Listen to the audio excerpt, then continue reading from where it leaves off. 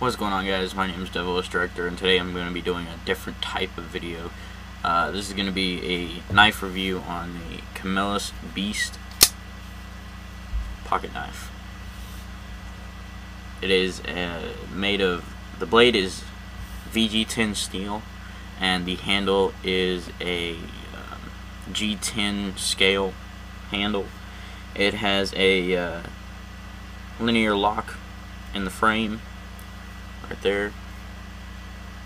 And it's, it's a little difficult to uh, close whenever you first get it out of the box. But um, if you just get some V80 and rub on it and uh, rub the blade down uh, it, it opens and shuts very easily. And that actually smooths up the opening action quite a bit. And it is an assisted open knife. The blade is a four and a quarter inches long. Um, which is legal where I live uh, you'd have to check your laws or whatever wherever you live to see if it is in fact legal. And it has a Tanto style blade on it which basically means that excuse me it comes straight and then it slants upwards.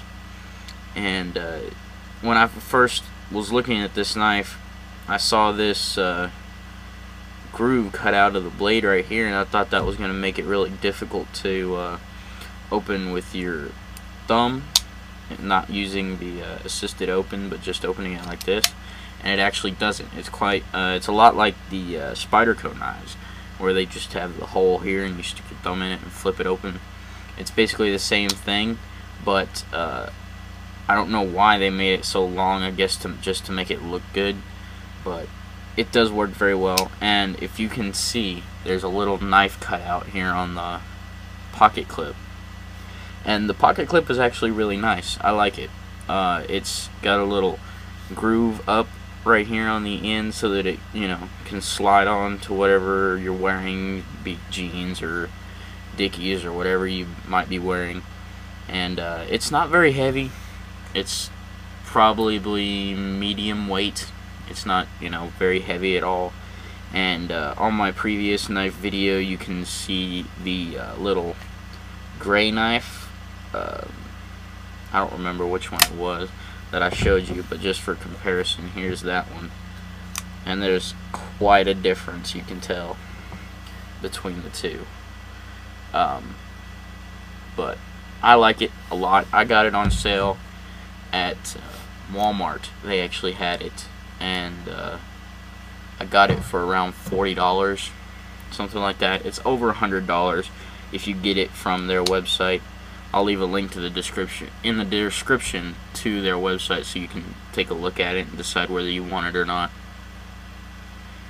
but um, other than that, I have one quick announcement I just wanted to make uh, to all the people on my uh, Minecraft server. Thank you so much for the uh, cake at spawn and the little sign. That was really nice of you. Um, but other than that, I think that's about it. I can't really think of anything else to say other than the uh, black coating on the blade looks really nice when you first open it up out of the package and uh, it will fade eventually just by cutting things and you'll get scratches in it and it'll just eventually fade off but for you know right now it looks really nice. And it makes a great uh, everyday carry. So thank you all so much for watching. If you liked the video give it a like. If you favored it I don't know.